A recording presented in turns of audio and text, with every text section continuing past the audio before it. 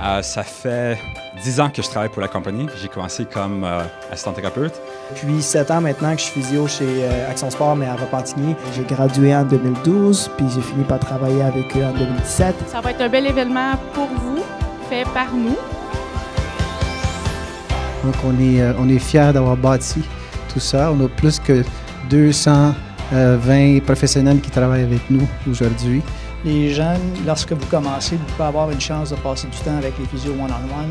Alors ça, je pense que c'est bien important quand on commence d'être guidé. Aussitôt qu'on voit quelqu'un qui a de l'ambition, qui a un désir d'évoluer, puis qui suit la même mentalité que nous, euh, on est ouvert à ce que vous devenez avec nous autres associés d'une façon quel- quelconque. Si c'est simplement à titre de physio, ça va. Mais si vous voulez devenir propriétaire, vous voulez avoir d'autres projets, d'autres ambitions, euh, on est ouvert.